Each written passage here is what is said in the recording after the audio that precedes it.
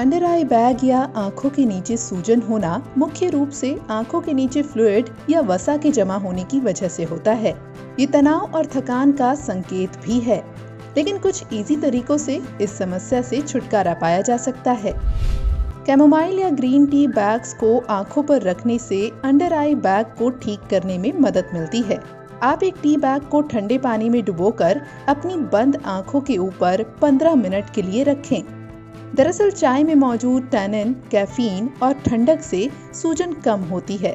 साथ ही dark circles हो तो वो भी कम हो जाते हैं। आई बैग की समस्या को दूर करने के लिए विटामिन ई ऑयल से रात के समय में सोने से पहले आँखों के आसपास हल्के से मसाज करें।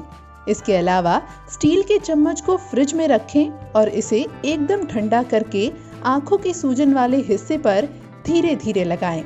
इससे काफ़ी लाभ मिलता है। अगर आप अंडर आई बैग की समस्या से परेशान हैं, तो आपके फ्रिज में रखा दूध इसमें आपकी काफ़ी मदद कर सकता है। बस ठंडे दूध में कॉटन पैड को भिगो कर रखें और फिर उसे अपनी आई बैग्स की जगह पर रख दें। इसे 20 से 30 मिनट के लिए लगाए रखें। इससे वाटर रिटेंशन होता है जो आँखों को ठंडक पहुंचाता है। आलू और खीरे के इस्तेमाल से भी आँखों के नीचे की पफीनेस को कम किया जा सकता है। इसके लिए आलू या खीरे के पतले पतले स्लाइस कर लें और फिर आँखों पर इन्हें रखें। इसके अलावा बराबर मात्रा में आलू और खीरे का रस लगाना भी कारगर होता है।